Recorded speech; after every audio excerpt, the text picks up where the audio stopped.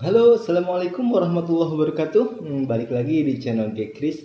Di video kali ini gua nggak ngasih tutorial pembuatan senjata ataupun nge-review senjata.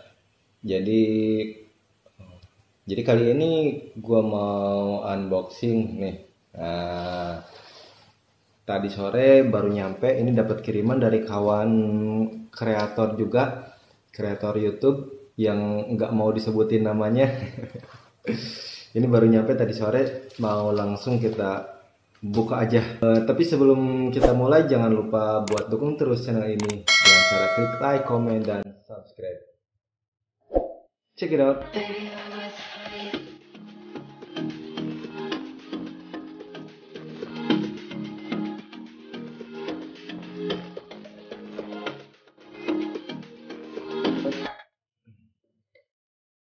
Bismillahirrahmanirrahim.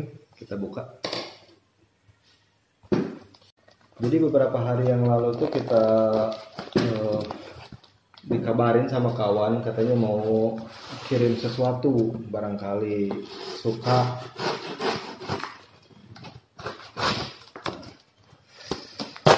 uh mantap paketnya gede banget ya kira-kira isinya apa Nah, ini dia isinya. Gak ada. Kali aja ada tambahan apa.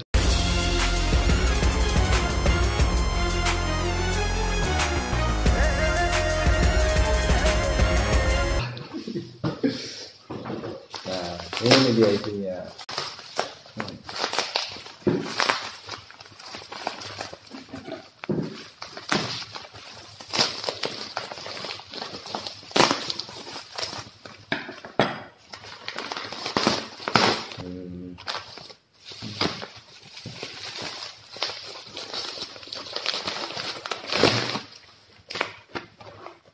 Dua bungkus kopi, yang satu robusta premium, yang satu arabica premium.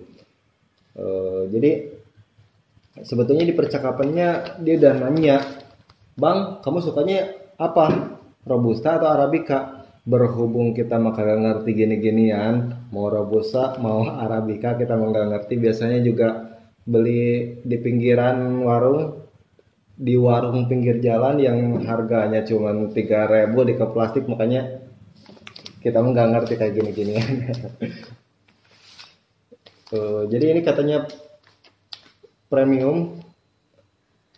Hmm, biji kopi arabica robusta 100% Katulistiwa Siantan. CV Cahaya Badjaya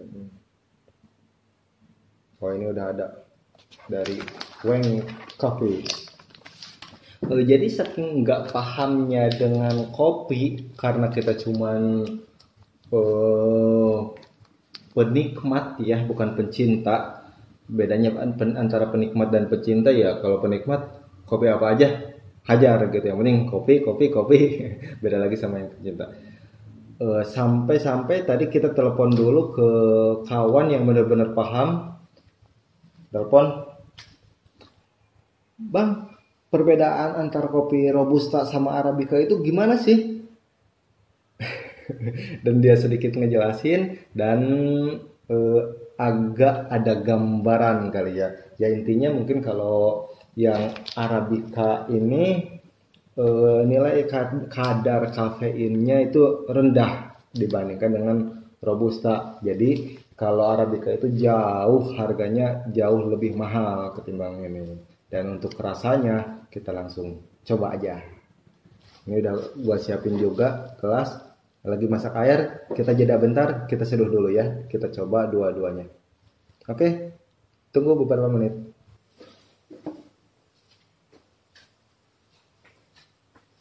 Yuhu, sudah jadi. Ini udah seduh sengaja gelasnya kecil aja karena nggak ada orang nih masa kalau biasa ngopi sendiri itu satu muk agak gede gitu ya. Jadi ini untuk yang mana tadi ya? Oh yang ini. Untuk yang robusta itu lebih agak kasar sedikit teksturnya ketika kita disendok dan diseduh itu uh, lebih pekat, lebih hitam ya. Dari warnanya pun kelihatan lebih hitam. Beda dengan arabica ya sesuai dengan warnanya kali ya. Ini lebih kental, hitam banget. Ini agak ada kayak krem-krem gitu ya mungkin inilah kayak agak krem-krem gitu warnanya kita jajah rasanya Bismillahirrahmanirrahim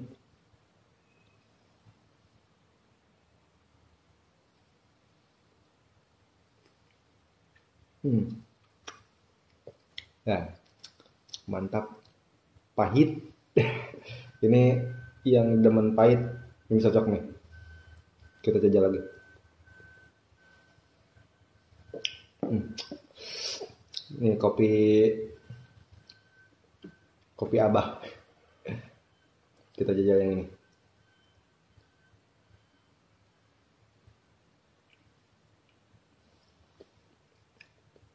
kayak ada asam-asamnya gitu ya nggak terlalu pahit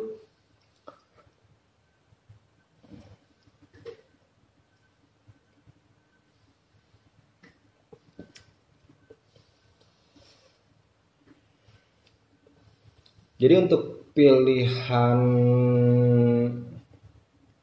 mana yang lebih baik ya gimana selera lah.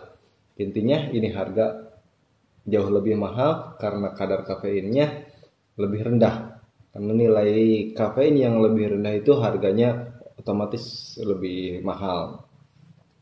Dan ini robusta ini biasa di kedai-kedai kopi mereka suka jual pakai yang ini, jarang ada yang pakai ini kata kawanku aslinya kita cuma biasa ngopi di pinggir jalan cup cup kecil 3000 udah. Kopi seduh satu saset.